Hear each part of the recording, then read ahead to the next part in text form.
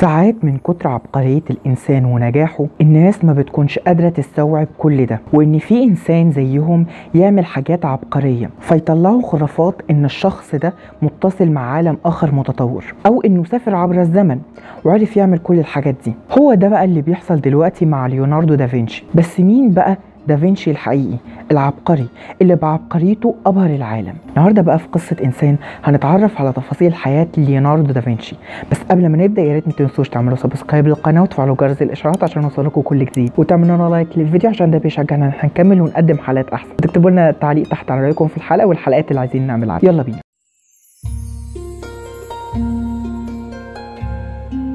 قبل ما نعرف حياة ليوناردو دافنشي لازم نعرف كويس حاجة مهمة. أولا إن كانت أوروبا بدأت في عصور النهضة والثقافة. قبل ميلاد دافنشي بكام سنة؟ في العصر ده كان مميز بالفن والعلوم المختلفة اللي كانت قائمة على التجربة غير فنون وعلوم العصور الوسطى المظلمة. المهم بقى في 15 إبريل 1452 اتولد طفل اسمه ليوناردو في قرية فينشي التابعة لجمهورية فلورنسا. وكان ليوناردو نتاج علاقة خارج إطار الجواز الشرعي. كانت أمه كاترينا فلاحة بسيطة وأبوه السير بيرو. كان كاتب عدل في فلورنسا. في بداية طفولته عاش مع أمه. بس بعد كده هيروح علشان يعيش مع عيلة أبوه علشان يعيش مع جده وجدته. وفي الوقت ده ما كانش فيه عند جده أنطونيو غير ليوناردو حفيد والوريث لعيلته. على الرغم من هو الابن الغير الشرعي بس هيكون قاعد معاه في نفس البيت. المهم بسبب إن ليوناردو ابن غير شرعي علشان كده مش هيقدر إن هو يخش المدارس. وعيلة أبوه هتجيب له مدرسين خصوصي. كحل طبيعي في الوقت ده هيتعلم القراية والكتابة والحساب. أما بقى اللغة اللاتينية اللي هي لغة العلوم في الوقت ده ما اتعلمهاش بجدية غير بعد لما كبر وهكذا الرياضيات العليا زي الهندسة والجبر. من صغره هو كان بيحب الرسم جدا. حتى لما عمه أخده على الأراضي الزراعية حوالين فينشي كان بيرسم كل اللي يعجبه. وده هيديله ميزة عن غيره من الفنانين اللي سبقوه أو اللي كانوا عايشين معاه وهو التدريب على الأشكال الطبيعية وتجربة الرسم زي رسم الطيور والأشكال بتاعة الأشجار والغابات حتى كمان البني آدمين. بعد كده جده وجدته هيموتوا وأمه بقت متجوزة ومخلفة حوالي خمس أطفال فيروح على فلورنسا مع أبوه اللي كان في الوقت ده بيخطط لجوازه التاني بعد موت مراته الأولانية. وبسبب علاقات أبوه هيروح عند فنان مشهور اسمه فيراكيو علشان يتعلم الرسم بشكل أكاديمي. وهنا في الوقت ده كان عنده حوالي 15 أو 16 سنة. بعد كده في سنة 1472 هيتم قبوله في نقابة الرسامين في فلورنسا. بس هيفضل شغال مع فيروكو لمدة خمس سنين. وفي فترة تعليمه مع فيروكو رسم ضمن لوحة معمودية المسيح الملاك اللي كان ماسك ملابس المسيح. وده خلى فيروكو ينبهر برسمه جدا. ده غير كده كمان كان في تمثال لديفيد عمله فيروكو كان نحته وبيقال إن التمثال ده متاخد مقاساته وشكله من دافنشي. المهم بعد كده هيعمل ورشة للرسم ليه 1481 ومن هنا هيجيله مشروعين.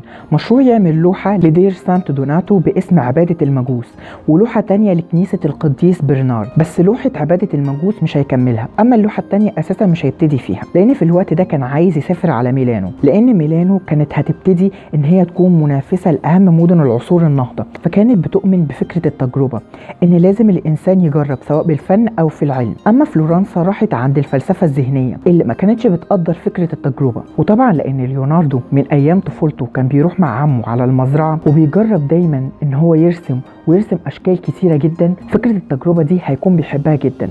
علشان كده هيسافر على هناك وهيكون رسام ومهندس لحاكم ميلانو. وبسبب فكرة إن هو ابن غير شرعي ده هيخليه مهتم بأناقته وبأسلوبه مع الناس وسلوكه المهذب. فهناك في قصر حاكم ميلانو كان مرحب بيه لأنه كان شخصية لطيفة مع الناس وكان هادي بطبعه. عمل بقى لوحة عذراء الصخور بعد كده عمل لوحة العشاء الأخير لدير سانتا ماريا. وكان هيعمل مشروع ضخم لحاكم ميلانو اللي هو كان المفروض يعمل تمثال برونز فرانشيسكو سفروزا مؤسس العائلة الحاكمة لميلانو في الوقت ده. بس ميلانو دخلت في حرب مع فرنسا وبالتالي البرونز اللي كان هيتعمل بيه التمثال هيروح لصناعة المدافع ومات المشروع.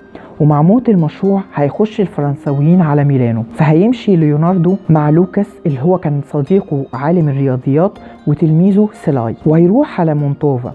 بعد كده هيروح على فينيسيا. وبعد كده هيرجع للمرة التانية على فلورنس. وكان بيجدد هيكل كنيسة سان فرانسيسكو. بعد كده هيروح مع سيزار بورجيا ابن البابا ألكسندر السادس وهيكون المهندس العسكري بتاعه.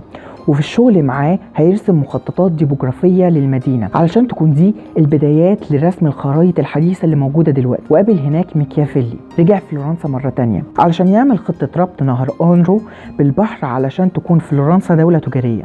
بس المشروع هيتوقف. وللصدفة إن إيطاليا لما تيجي تعمل طريق سريع من فلورنسا للبحر هتعمله على المسار اللي عمله دافنشي وفي نفس السنة هيتعرض عليه إن هو يعمل لوحة معركة أنجياري بس مش هيكملها. وبعد كده هيعمل لوحة الموناليزا. وهنا بقى هيدخل له ميزة تانية. دافنشي كان بيروح مستشفى سانتا ماريا نوفا علشان يشوف هناك التشريح ويقدر إن هو يرسم بطريقة صحيحة. لأن من ضمن المراحل بتاعة الرسم الكويس لازم يكون الإنسان ده عارف تشريح ويقدر إن هو يرسم صح. وفي سنة 1506 هيروح على ميلانو للمرة التانية وهناك هتكون شغلته الاستشارات المعمارية وفي الوقت ده هيكون معاه سيلاي والأرستقراطي ميليزي اللي كان صاحبه في أواخر أيامه وكان بيعامله كابنه لأن ليوناردو ما اتجوزش ولا خلف طول حياته. ومع اضطرابات الأوضاع في ميلانو هيروح على روما ويستقبله أخو البابا الجديد ليون العاشر استقبال كويس جدا فاداله مجموعة من الأوض مع مرتب شهري وقعد ثلاث سنين هناك لغاية ما هيجيله عرض من ملك فرنسا فرانسيس الأول وهيسافر على فرنسا سنة 1516 مع صاحبه ميليزي. وهيشتغل هناك المهندس والمعماري الأول للملك وهيصمم هناك قصر مورانتين علشان يكون مسكن للملكة الأم. بس بسبب مرض الملاريا اللي كان متفشي في المكان ده مش هيقدر إن هو ينفذ القصر. وفي 2 مايو 1519 يموت ليوناردو دافنشي ويدفن في كنيسة سانت فلورانتين ويكتب كل أملاكه لصاحبه وابنه ميليزي. ومع نهاية الثورة الفرنسية هتتدمر الكنيسة وحتى الآن مش هنقدر إن إحنا نحدد مكان دفنه كويس.